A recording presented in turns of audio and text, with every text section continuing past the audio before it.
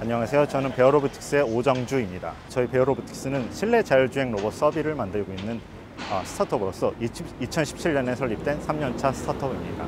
저희 로- 자율주행 로봇 서비는 어, 다양한 센서와 인공지능 기술 바탕으로 실내를 안전하게 주행할 수 있는 어, 서빙 로봇입니다.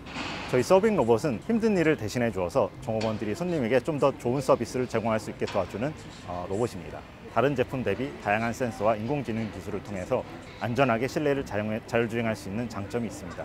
또한 사람에게 더 친숙한 움직임을 통해서 어, 종업원들이 더 거부감 없이 쓸 수 있게 제작이 되었습니다. 올해 1월에 소프트뱅크 주도로 3,200만 불의 투자를 받았고요.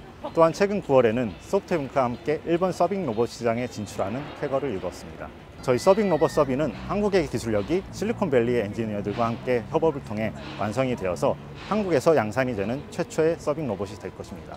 또한 내년에는 만 대 이상의 선주문을 통해서 전 세계에 저희 한국의 기술력이 널리 보급되는 기회를 가지게 될 것 같습니다.